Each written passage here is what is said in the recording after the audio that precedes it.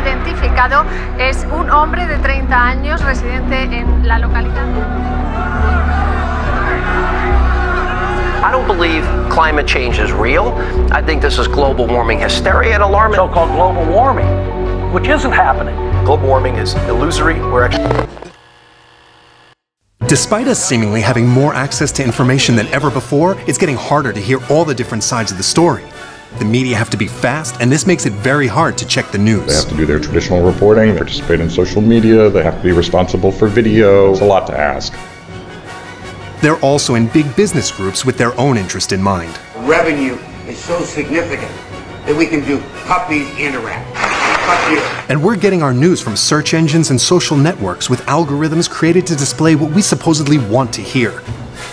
At EITB, we think that if lies have increasingly more tools, then the truth has to have them too. That's why we created Yournalist, the first app that lets you check in real time the millions of stories on one news item and gives you the six most widely differing angles of coverage without any ideological bias. It starts like Shazam. When they're talking about a topic you're interested in, in real time, Yournalist sends it to Watson, a deep learning algorithm which selects the keywords to find just the news that matches yours.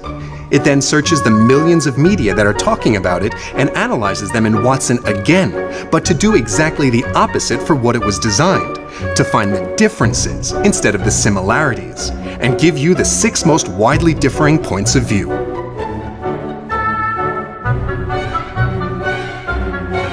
Because nobody should believe that a video game YouTuber is a terrorist. Because nobody should believe another photo montage for electoral purposes. Because the truth is no longer the ready chewed version that somebody feeds us, but what you find out for yourself.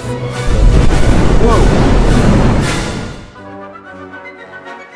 Yournalist by EITB, the only medium that doesn't want to be the only one.